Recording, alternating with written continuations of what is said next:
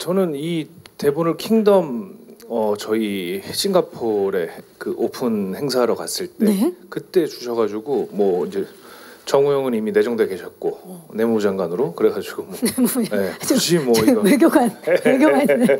그래서 뭐 대본도 안 봤어요 사실은 그냥 뭐 아유 감사합니다 이러고 했죠. 예. 그러면 이 질문을 안 할 수가 없죠. 대본 일단 안 보고 하겠다는데 보고는 어땠어요? 아차 싶었죠.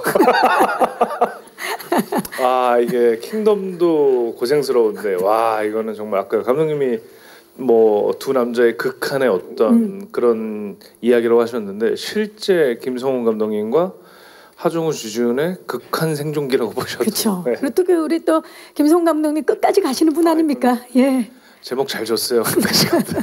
싱가포르에서 킹덤 원 어, 프리미어 시사가 있었습니다. 그때 시사를 마치고 회식 하는 장소에서 은근슬쩍 옆방으로 좀 불러서 지훈 씨한테 한국에 돌아가면 지훈 씨한테 좀 책을 건네고 싶어하는 감독이 있다. 어, 네. 누구냐 그래서 뭐 어, 3인칭으로 예. 예, 또한 두어 편 찍은 감독 같은데 뭐 그렇게 잘 찍는지 모르겠지만 나쁘진 않은 것 같아요. 뭐, 뭐 그럭저럭 괜찮아요.